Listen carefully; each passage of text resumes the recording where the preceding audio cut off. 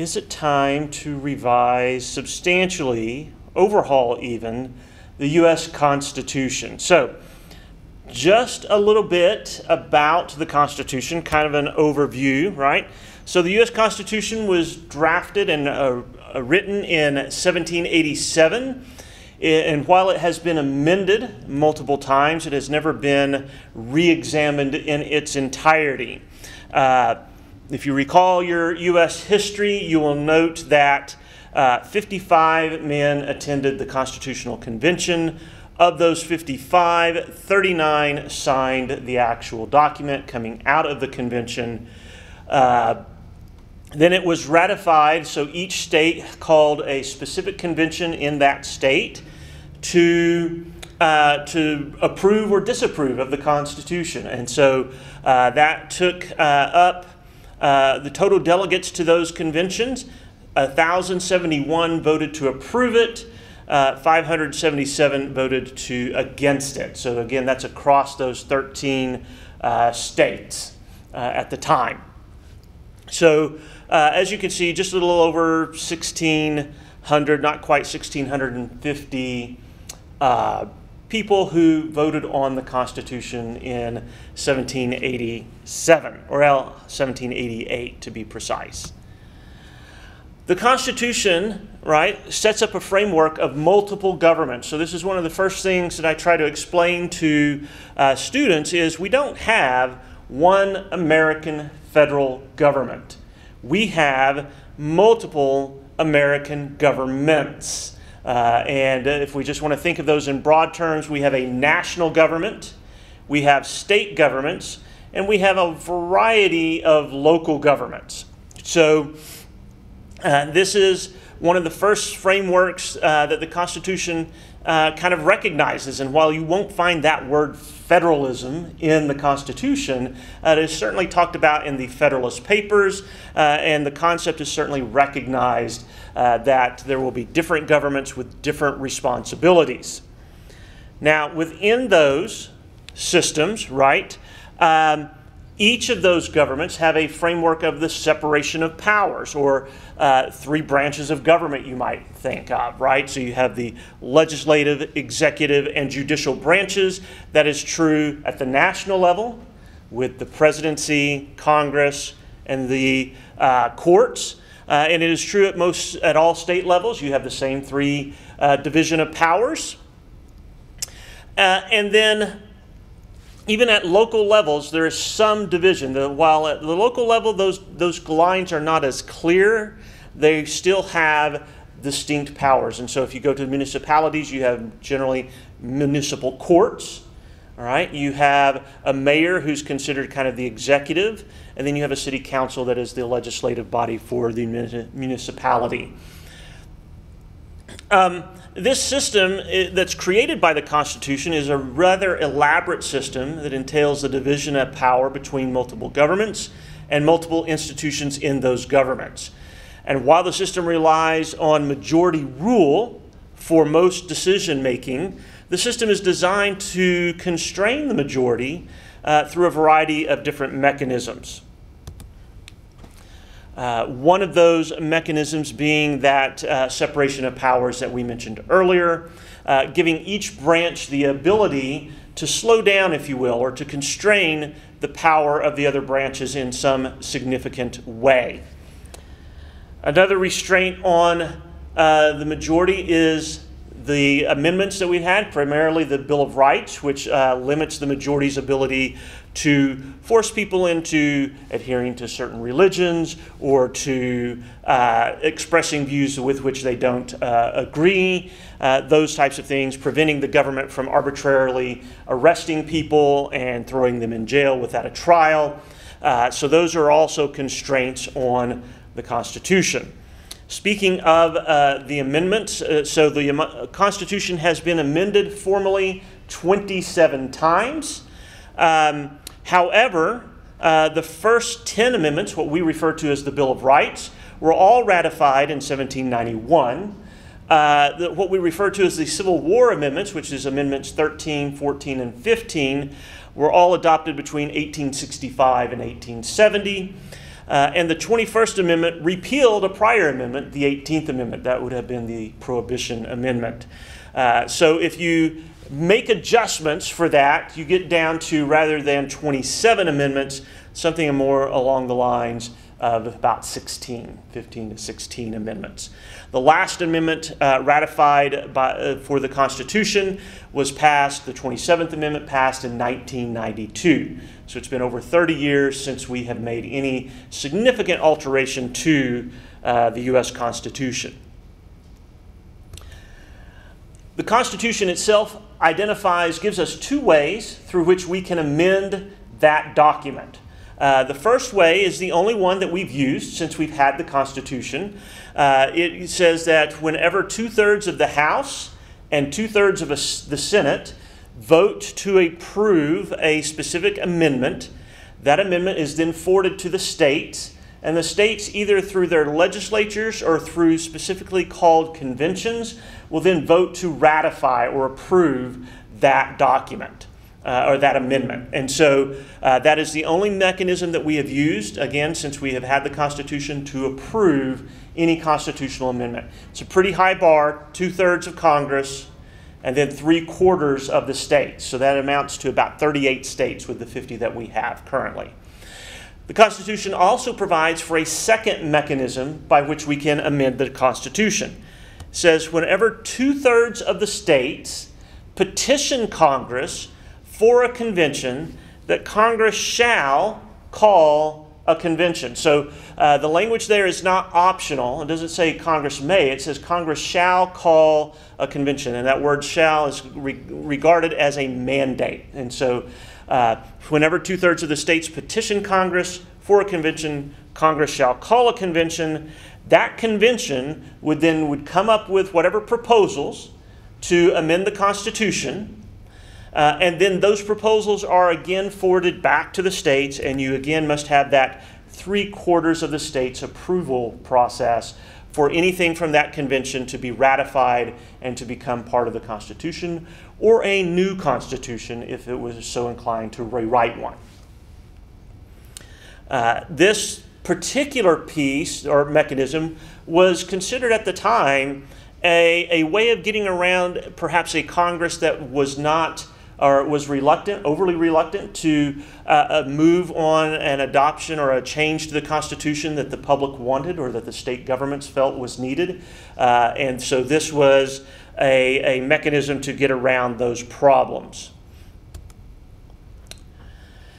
So when we think about altering or revising the Constitution, there are a couple of arguments, or two or three arguments that, that, are the primary arguments against doing so. You're probably familiar with some of these. One of those is, well, we would risk losing the rights that are uh, enshrined in that document currently, and, and most specifically, those that we see in the Bill of Rights right? And so the fear is that a convention could come in, and whether you are someone who is adamant about free speech, or adamant about gun rights, or want to restrain the government's ability to uh, arrest people uh, without going through a proper process. Uh, you're fearful that changing the Constitution dramatically in some way would risk those rights being stripped out of the Constitution. And so this is one of the, the main arguments about uh, revising it is that you would have this, this some people think it would be a probability depending on the amendment you're talking about.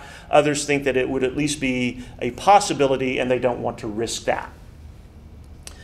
A second argument against the convention is that it could not be constrained in what it considered or in the approval process that it arranged, right? And we'll talk more about this. This arises from how the first Constitutional Convention uh, played out. Uh, but there's nothing in Article 5 that says a convention can be restricted to a particular topic or set of topics.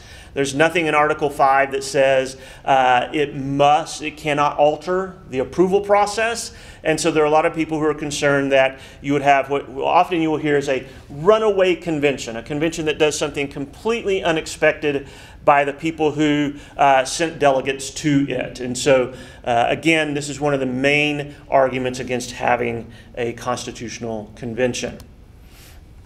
A third one uh, revolves around the vagueness of Article 5. So, some things that Article 5 does not tell us. Number one, where would such a convention be held? Right? It gives us no uh, definitive location. In fact, most of the logistics of holding a convention are not identified in Article 5. How would delegates be chosen? Right? And so, uh, would the state legislatures appoint delegates to this convention? Would they be elected by the people? Would the governor appoint folks? There's nothing in Article 5 that says, explains how that process would work.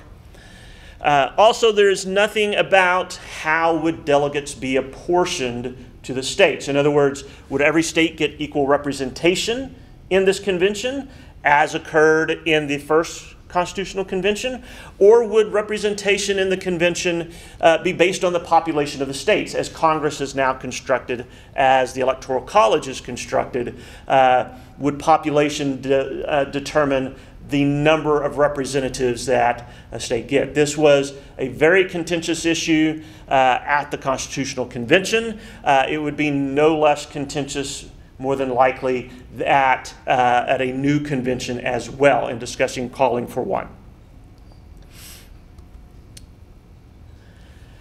So, those have been the three main arguments against holding a convention. I'll throw in one other, which uh, again revolves around Article 5, which is what Article 5 says, as I mentioned earlier, is whether two, when two thirds of the states petition Congress for a convention, Congress shall call a convention.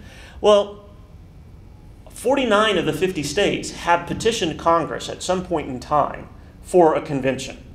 Uh, so we've well met over the, uh, the two thirds requirement. So, how has Congress avoided doing that? Again, because of the vagueness of the language.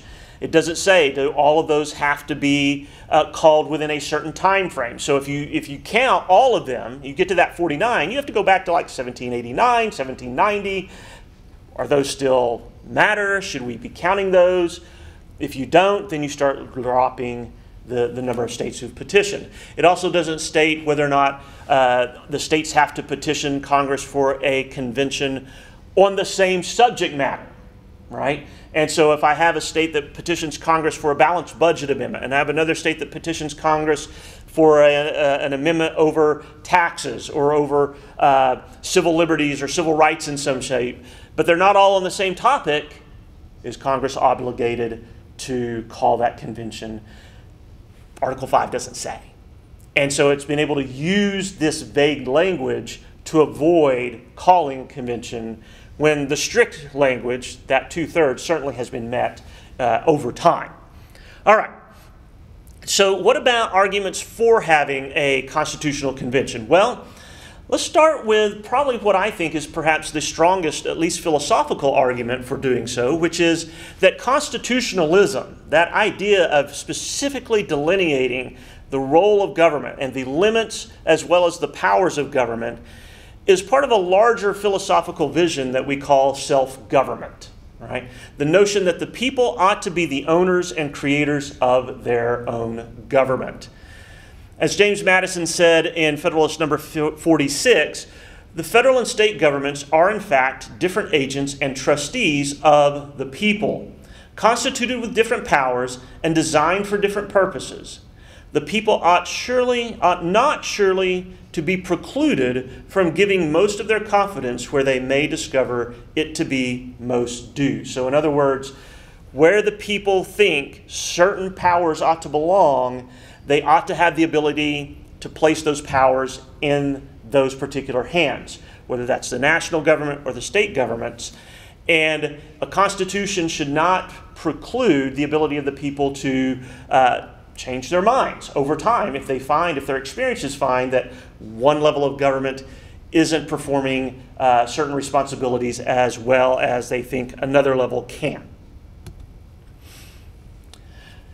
Along these lines, no one living today had any hand in writing the Constitution. All right? And many of our citizens were not even alive when the last amendment was ratified.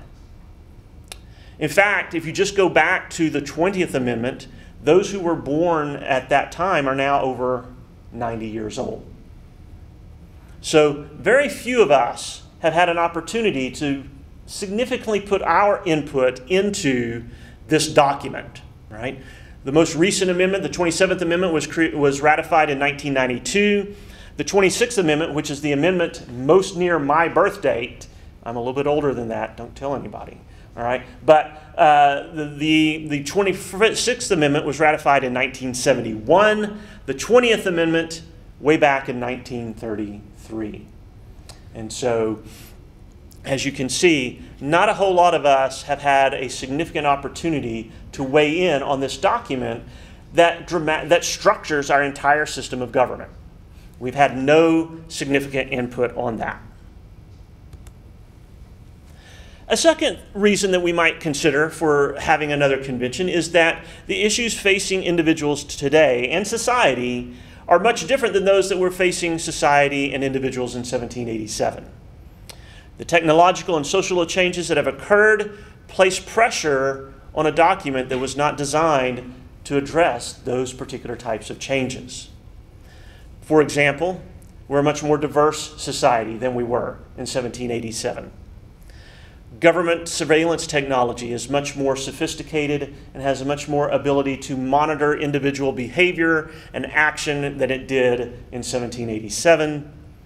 And the issues relating to the separation of powers often need greater clarification. Over the last hundred years or so, that line of separation has blurred somewhat, uh, and it might be time to revisit those. Another argument for revising the Constitution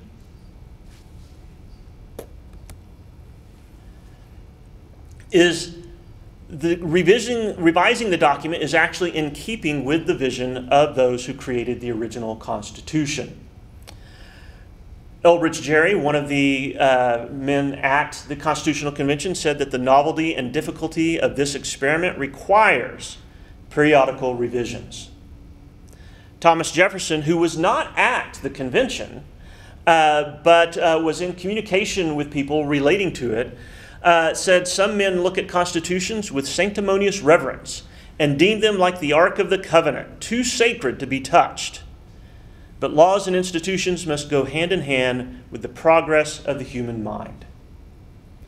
And George Washington, who presided over the Constitutional Convention, said, The people can, as they will, have the advantage of experience on their side, decide with as much propriety on the alterations and amendments which are necessary as ourselves. Let's look at some of those arguments against having one. The runaway convention. Well, as I mentioned, we'll come back to that. The original convention was a runaway convention. That convention was not called to rewrite a system of government, it was called to revise the Articles of Confederation. That was the purpose of that convention. On day one, they said, That's not what we're doing here. They said, You can slap all of the duct tape and the barbed wire you want on the Articles of Confederation. They are broke beyond repair, and we're going to do something different. And immediately, uh, the Virginia Plan, which was largely drafted by James Madison, uh, was introduced, which created the foundation for most of the arguments over the Constitution uh, was kind of the working document that they worked from. Uh, shortly after that, about two weeks after that, the New Jersey Plan was introduced as a counter proposal, uh, and the, away they were off, rewriting the entire system of government. Not only did they rewrite the government, they rewrote the rules for how this would be approved, right? The convention, as it was called, would present whatever amendments it would come up to to the existing Congress at the time, and the Congress would vote whether or not to approve them. The framers of the Constitution said that's not a process that's going to work, and so we changed the rules. We said we're going to instead send this document to the states. The states, as individual governing entities, will vote to approve or reject it. And whenever nine of the existing 13 approve it, it becomes in effect for those nine or more states. All right. Another way of looking at this is Article 5 of the Constitution clearly lays out the ability to create a convention no convention called under Article 5 can, by definition, be a runaway convention.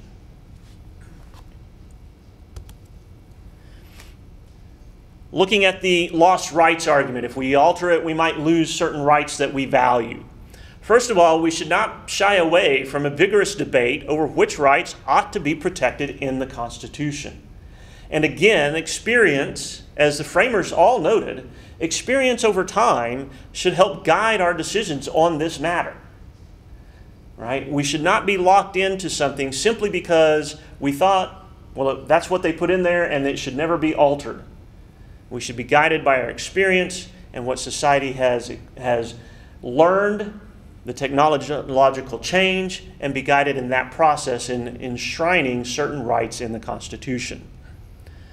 Second, it's unlikely that the American public would approve alterations to the Constitution that threatened broadly cherished rights. At the end of the day, again, under Article 5, the convention is only permitted to propose changes. Any changes created by that or proposed changes created by that convention must be approved by three quarters of the states. And so nothing coming out of that convention is automatically a change to the Constitution. It is simply a proposed change that must be approved by. So there are safeguards built into this process to prevent the stripping of rights that the people broadly want included.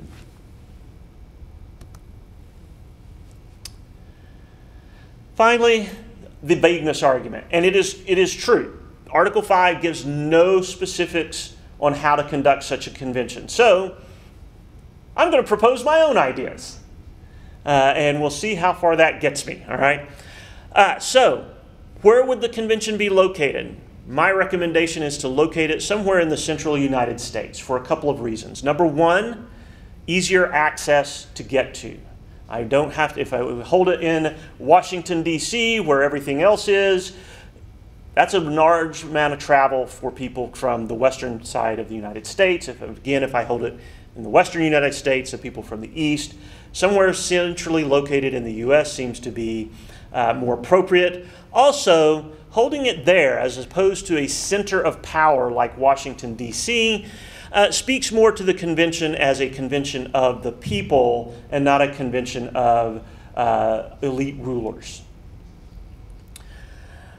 Second, I would propose that delegates should be elected to the convention by the people of the states. Right? Not appointed by the legislature, not appointed by another government official, but elected directly by the people. I would also prohibit any U.S. or state official from serving in the convention. Why, you might ask? The main reason is because these folks are already caught up in all of the partisan divisions that are occurring in the country. It'll be very hard for them to lay those at the door and walk into a convention without them. The other reason is we have a broad amount of talent and understanding and wisdom in the people, and we should allow that to emerge within a convention and not limit it to simply people who've been able to win votes or who have been close to power and have been able to uh, get appointed to certain positions. The delegates should also be compensated for their work, and I would say they ought to be compensated at the same rate that members of Congress are. Their work is no less important. As far as apportionment goes, I would apportion delegates based on their electoral college apportionment. So the votes that each state receives in the electoral college would be the votes they would be assigned to the convention. This is primarily, but not exclusively, based on population. So uh, if you look at the way the electoral college is, the, the way it is decided how many votes a state gets, they take the number of members each state has in the House of Representatives, uh, and they just add the two senators. And so I think that using that model would be sufficient. It does give less populous states a little bit more voice. Uh, so it's not a purely proportionate, as the House of Representatives is, based on population, but it is primarily based on population. Um, I would give the convention about two years to come up with this. The first convention, they completed their work in roughly six six months, maybe not quite six months. I should take that back. So, uh, from May of 1787 to September of 87, uh, the issues are a little bit more complex today. They might need a little bit more time to consider them, uh, but I would give them that, about that time frame. That is one congressional term, by the way. Two years is one congressional term. I think that uh, is reasonable when we're asking people to redesign or revise uh, our current governing document. An important reminder, as I mentioned a couple of times, anything that comes out of such a convention must be approved by three quarters of the states. And so, whatever goes on there, it is important to note that there is that back wall, if you will. One other thing I will note a lot of people sometimes will say, well, we shouldn't have a convention because we're too divided. And there's no doubt that there is great division within the country. My contention to that is this process of examining our founding document could A, both be a unifying process, right? One that brings us together to say, how do we want to live with one another peacefully? Uh, and even if no significant revisions were made, just the process of saying we looked at it, we don't think it needs changes, gives our generation an opportunity to pass judgment on this document that was written 230 some years ago. So, even failing to make significant amendments, the process of holding a convention has value. With that, I'll open it up to any questions anyone might have.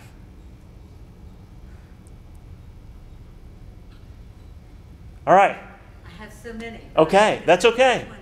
Wouldn't, wouldn't this be a very interesting thing to do uh, at the college among the students as, a, as, a, as a, a mock prototype?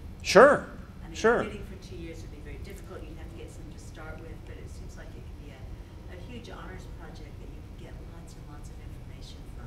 Absolutely. And um, one thing that people don't know about Oklahoma state government, our state constitution requires that the legislature put uh, on the ballot every 10 years, every decade, uh, the opportunity for folks to call a state convention the rewriting of the state constitution. Now, we have not done that in a couple of decades. Uh, and there's been some discussion about, about that. Uh, but it is required in our state constitution that we re examine our own state constitution periodically. Uh, so, yes, I think something at the college level, I think looking at something at the state level too would help be a model for what we could do. Yes? Define runaway uh, convention. So that is a convention that has no constraints on what it would propose uh, or how it would set up the approval process. That's, that's generally what people mean by a runaway convention, one that uh, is unrestrained in what it can do, right? Uh, much like the original convention became. Yes, sir. I just wanted to point out for the video, duct tape was invented 163 years after the Articles of Confederation were rewritten. So you're saying we couldn't have put duct tape on them? Okay. Uh, I'll retract that portion of my, my statement. Yes. Yes. Um, you know, with some of the recent Supreme Court and state rulings, we're seeing a lot of movement of individuals from one state to another. Mhm. They don't like a particular position in a state, and so they're moving to another. I'm thinking, of course, particularly about the abortion ruling. Uh-huh. from. With something like this, people would not have the option to move, you know, within the country. Would, would there be movement to territories? Territories are not bound by this, right? Territories are unique in the sense that they are uh, bound by the U.S. Constitution, uh, but they do not have the same rights as states do, right? So territories have no representation in U.S. Congress, uh, although they do get electoral votes. I'm not sure how those exactly work. Um, and the U.S. government can exert much more direct control over U.S. territories than they can over the states. So there's a little bit different arrangement, Um, this would not preclude people from moving from one state to another. Uh, unless we put that in the Constitution, but it might re- reduce the motivation for doing so, right? If, uh, if whether you're talking about the abortion issue, gun control, other issues, freedom of speech issues, uh, education issues, uh, many of those are not bound by the current Constitution, right? State governments under our system have a wide range of uh, ability to impact their own laws and regulations on these. Uh, were we to insert some of these, clarify some of these uh, amendments in a way that could get three quarters of the states to approve, uh, that might change. But right now, the balance of power is such that the, the federal government, on many of these issues, is limited in its ability to affect whatever change a majority in Congress or a president in, in office wants to see happen. You were talking about, uh, and maybe I missed it, the, three last amendments. Uh-huh. I know one of them was how many terms president could, uh, serve. Right. What were the other two with Nixon and Bush Senior? So the 26th Amendment was passed uh, in 71. It was the one that lowered the voting age. So it, it set basically, I think, for the first time, a voting age for the population, and it set it at age 18. So that was the 26th Amendment. The 27th Amendment has a very interesting history. It was actually proposed in 1790 as part of those bills that moved through as part of the Bill of Rights. And it says that if Congress votes itself a pay raise, they cannot, that pay raise cannot take effect until an intervening election has occurred. So if Congress voted themselves a pay raise today, that pay raise would not go in effect until the elections of next year occurred. Yeah. Uh, and so that's what that one did. Uh, the 20th Amendment, uh, I'd have to go back, I can't quite remember what that was. The 19th, every, at least half the population should know what the 19th Amendment did. Yes? Gave women the right to That's correct, right? Uh, uh, and then the, the 22nd Amendment is the one that you were thinking of that limited uh, a president to two, two full terms. Yeah. Yeah. Any other questions? No? Everybody's ready to go hold another convention. I'm just going to assume that. Because, yes. Um, as we've had happen in years past, and it's happening now, are there any constraints on the federal government overriding the Constitution? I mean, um, this has happened down through the years, so what are the constraints for federal government stepping in on state government? Mhm. Are there any? There are. Uh, there it, within the Constitution itself, it limits the federal government in, in areas. Uh, most of the time, the way the federal government gets around that is not by directly mandating things, but by throwing large sums of money at the states and saying, We want you to do this, and if you will do this, we'll give you billions and billions of dollars to do it. Uh, and so, state government officials who like to spend money they didn't have to tax their people for generally take that bargain. But mandates are happening. They are, but they can only happen in areas that the federal government is authorized to act, right? Uh, and so, uh, and when there's a question about that, the courts become the final arbiter, right? And the courts have to interpret the Constitution to in a way that says, is this a proper power exercised by the national government according to the Constitution or not? Yeah. Um, but uh, the Constitution does have the supremacy clause, right? And so the supremacy clause says that the Constitution and all laws made and all treaties made under it is the supreme law of the land. Uh, and so interpreting that can be very, very challenging sometimes. Uh, not everything, as we talked about in Article 5, not everything is precisely clear. Uh, you want a little bit of wiggle room, right? And you don't want a constitution that tries to get into policy making, right? That can cause a whole bunch of problems. Um, So you want a, pro- a constitution that gives a framework, a process of how things will be done, but you don't necessarily want it to be super precise and super detailed on every single thing that might come up, because then that constrains the hands of uh, the elected officials to address issues as they arise. Uh, and so you have to have a bit of flexibility in that document for design. That's one of the reasons why the U.S. Constitution is the longest surviving written constitution in the world, because it does have that flexibility built in. It does give each generation uh, a means of interpreting it slightly different than prior generations.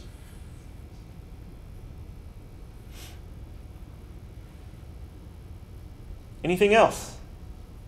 No?